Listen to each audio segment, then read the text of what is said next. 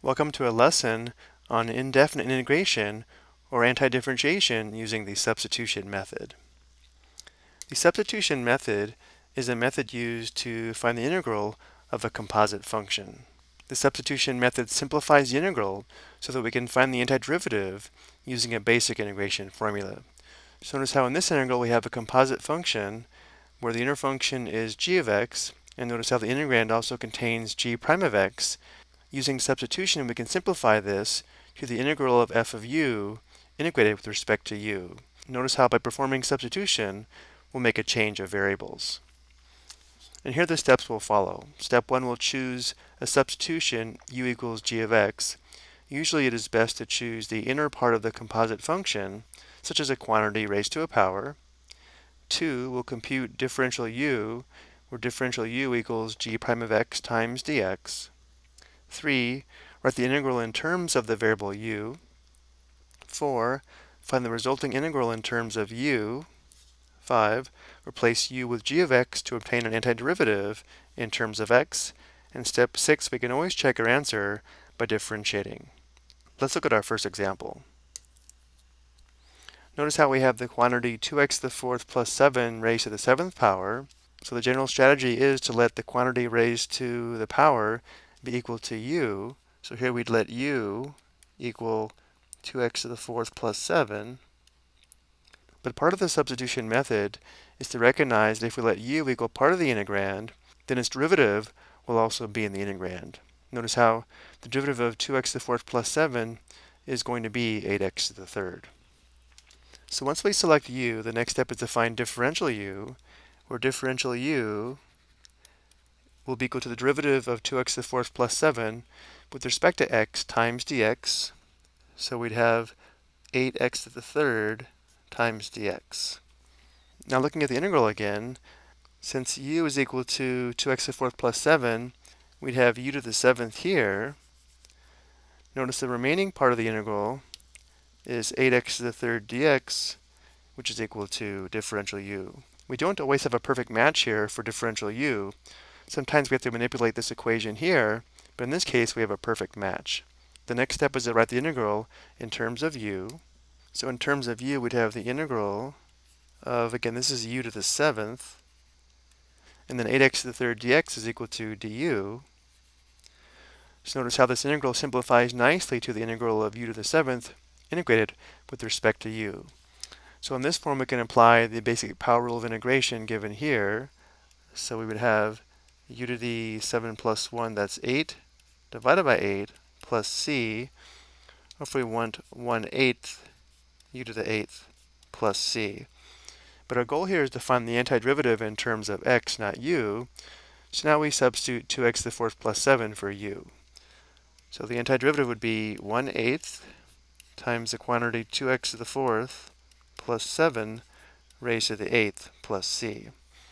So this is our antiderivative, which means big F of x is equal to 1 eighth times the quantity 2x to the fourth plus 7 raised to the eighth plus c, and the derivative of big F of x should give us the integrand function 8x to the third times the quantity 2x to the fourth plus 7 raised to the seventh.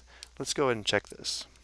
Big F prime of x is equal to 1 eighth times to find the derivative of 2x to the fourth plus 7 raised to the eighth, we'd multiply by 8, and then we'd have 2x to the fourth plus 7 to the 8 minus 1 or 7th power, and then applying the chain rule, we multiply by the derivative of 2x to the fourth plus 7, which is 8x to the third.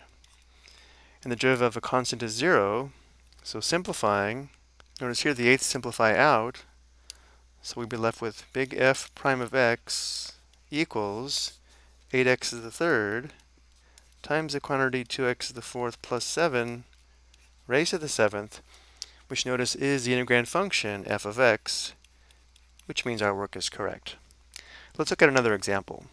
Let's first write this using rational exponents, because the index is 2, and we have the quantity 4 plus x squared to the first, we can write this as the integral of x divided by the quantity 4 plus x squared to the 1 half dx.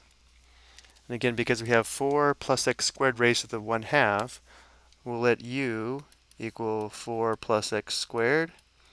And now we'll find differential u. Differential u is equal to the derivative of 4 plus x squared with respect to x times dx. So that would be 2x times dx. And looking at our integral again, we know 4 plus x squared is equal to u. Notice how we're left with x dx. And over here we have du equals 2x dx. Let's go ahead and solve this equation for x dx by dividing both sides by 2.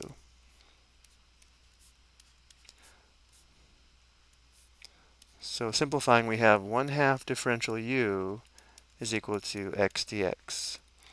And now let's write this in terms of u. So we'd have the integral of, notice how our denominator is going to be u to the 1 half. And then we have x dx, which we know is equal to 1 half du. So let's factor out the 1 half, and then we have our differential u. And therefore, our denominator is going to be 1. Before we apply our integration formula, though, we do want to move this up to the numerator, which will change the sign of the exponent. So we can write this as 1 half times the integral of u to the negative 1 half differential u. And then we'll find the antiderivative in terms of u. So we'd have 1 half times u to the negative 1 half plus 1, that's u to the 1 half, divided by 1 half plus c. Simplifying again, we have 1 half, and then dividing by 1 half is the same as multiplying by 2, so times 2 over 1 times u to the 1 half plus c. Simplifying, we have u to the 1 half plus c. And now we substitute 4 plus x squared for u. So the antiderivative in terms of u is going to be the quantity 4 plus x squared raised to the 1 half plus c. Or if we want, we could write this as the square root of 4 plus x squared plus c. Either of these two forms of the antiderivative would be acceptable. Again, let's go ahead and check this.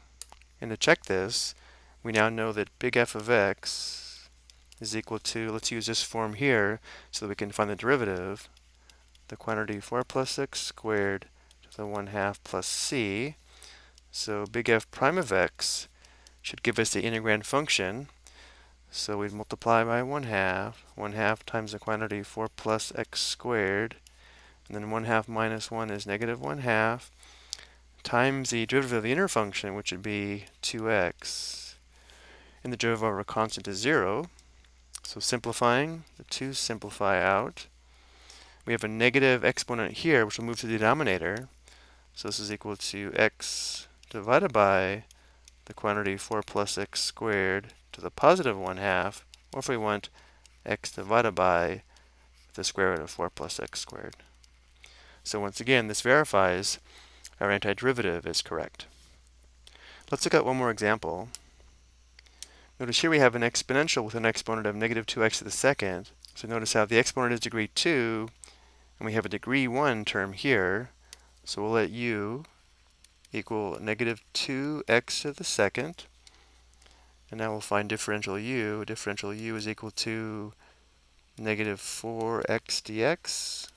Looking at our integral, we don't have a negative 4x dx, but we do have an x dx. So let's solve for x dx by dividing both sides by negative 4. So we know negative 1 fourth du equals x dx. We do have this coefficient of negative 3 here, which we'll just factor out. So let's write this in terms of u. Again, we'll factor out the negative 3, and then we have the integral of, because negative 2x to the squared is equal to u, we have e to the u. We already factored out the negative 3, so we have x dx remaining. x dx is equal to negative 1 fourth du. So we'll factor out the negative 1 fourth, and we have our differential u. Simplifying again, we have positive 3 fourths times integral of e to the u du, which is equal to 3 fourths. E to the u is negative 2x squared, and then plus c. So this is our antiderivative, which means big F of x is equal to 3 fourths e to the negative 2x squared plus c. So if we find big F prime of x, we should get the integrand function negative 3x times e to the negative 2x squared. So our derivative is going to be 3 fourths times the derivative of e to the negative 2x squared, which should be e to the negative 2x squared times the derivative of negative 2x squared, that's negative 4x. The derivative of a constant is 0. So now simplifying, we have a common factor of 4 here and here. So we have big F prime of x equals 3 times this would be negative x, so negative 3x, e to the negative 2x squared, which again is the integrand function f of x. So once again, our work is correct. I think we'll stop here for this part. In part two, we'll take a look at using substitution to evaluate definite integrals. I hope you found this helpful.